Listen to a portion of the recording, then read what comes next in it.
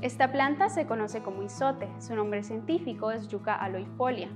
Suele habitar con frecuencia a lo largo de los bordes de carreteras, también en los bordes de marismas salobres y en dunas de arena y en bosques de pino. El extracto de las hojas de esta planta posee actividad antibacteriana y antifúngica, por lo cual es utilizado como tal. Asimismo, el aceite de esta planta es una fuente natural de compuestos como los tocotrienoles. Estos poseen propiedades neuroprotectivas y anticancerígenas.